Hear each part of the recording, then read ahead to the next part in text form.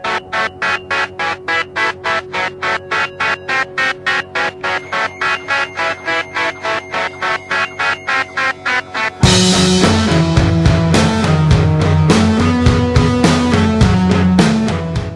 everybody, um, I'm going to show you a really easy updo uh, that I like to do, especially on a, like a bad hair day, and I kind of picked one today to show you.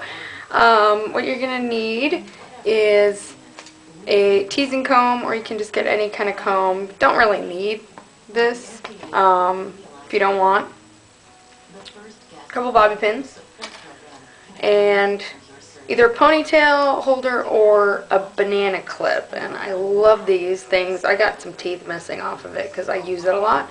Um, but you can get these at Walgreens or Rite Aid. The best ones are these ones. I think they're by Goody um, they have the little clips on them so you clip it like that and it won't come undone there's some that just kind of pop into the little socket and I don't really like those. So if you can get one of these, then that works. Okay, so what I'm going to do is a poof, like a pompadour sort of thing, and bring it back with the banana clip. So I'll show you how to do this. Um, first, what you do is take about to there. I kind of judge by the edge of my eyebrows, maybe a little bit in. Uh, it doesn't have to be perfect. You don't want it squared off because then there'll be too much hair up here and it'll look really funny. But what I kind of do is I do it at like an angle. Here, I'll show you. Sort of do it like this and bring it to the back of your head like that. Okay. And then what you're going to do is just pull it up like this. Take your teasing comb. I usually do this in three sections. Okay. My hair's a mess.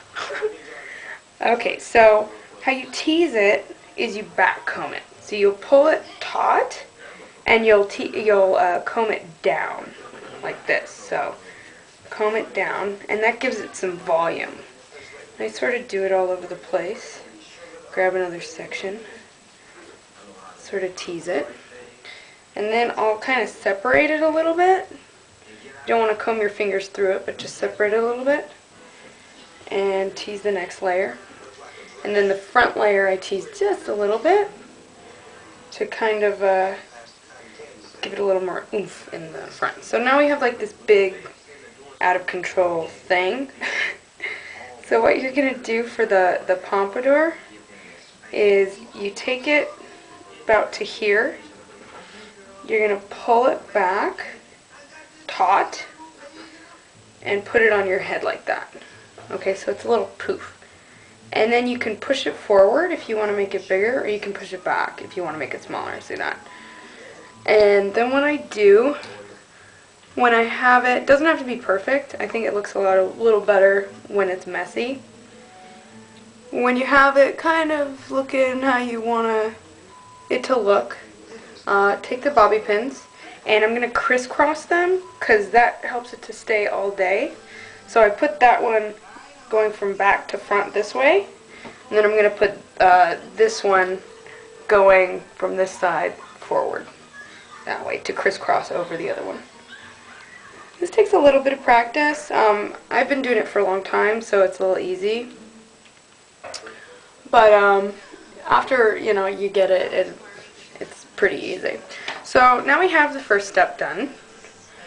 And what we're going to do is use the banana clip. So what I'm going to do is just kind of comb the hair back, especially where it is at the ears. Kind of comb it there. Take my banana clip, and what you want to do is you want to kind of put it under all your hair. And then what you're going to do is in that V shape, okay, it's like it's like this while you bring it up, you're going to clamp it. So it like combs through your hair. You're going to want to keep it touched at your scalp and bring it all the way up. So I'll show you this. Sometimes it takes a couple tries to get it all the hair in. See, like that. And pull it kind of taut.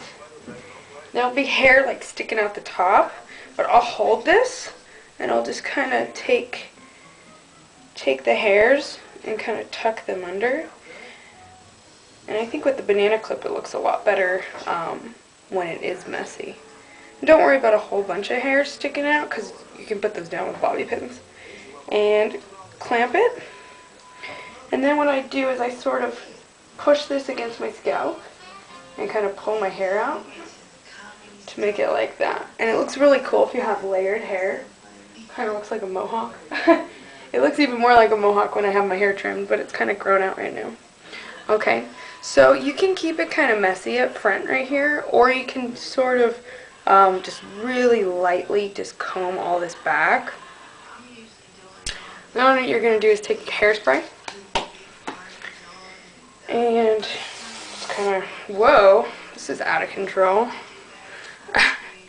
I don't know if this is to work. oh, we're exploding here. Okay. So just sort of spray it a little bit. And this is good if you have oily hair and you're having a bad hair day and you put this up like this. The hairspray, because it has alcohol in it, it's actually going to absorb the oil. So, it doesn't look oily. So, I'm going to do that. And then, see I have these little hairs sticking up here, but I'm going to kind of smooth out the sides. And I find that it smooths out a lot better when I don't directly spray it on my hair. I spray it on my hand, a little bit on my hand first, and then I smooth it up. And I find you get a lot more smooth look. And it stays down a lot better. Okay. Then what I'm going to do, I have my bobby pins around here. Where the heck are they? Uh-huh, I only have a couple. Then what I'm going to do is just kind of take those hairs and pull them back and put a bobby pin here and there to hold them down. If I can get these bobby pins to work for me. and then I'm going to spray it again.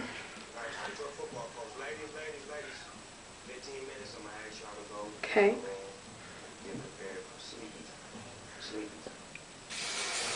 It again a little bit. Okay. Alright, thanks for watching. I hope you guys enjoyed my video. Uh, I hope it helped you out a little bit. I might be doing some hair videos coming up. We'll see. I don't know quite what I'm going to do yet, but we'll see. Alright, talk to you guys later. Bye.